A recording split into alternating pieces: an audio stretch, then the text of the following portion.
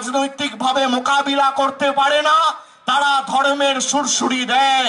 যদি ভাবো, ধর্মের বিরুদ্ধে লড়াই করে আমার এলাকায় আগুন জ্বালাবে, আমি বেঁচে থাকতে বুকের রক্ত দিয়ে সেই আগুন নেবাবো আমার এলাকা আমি অশান্ত হতে দেব না। তো দেখবেন কালী পুজোর সময় শ্যামা পোকার আনাগোনা হয়।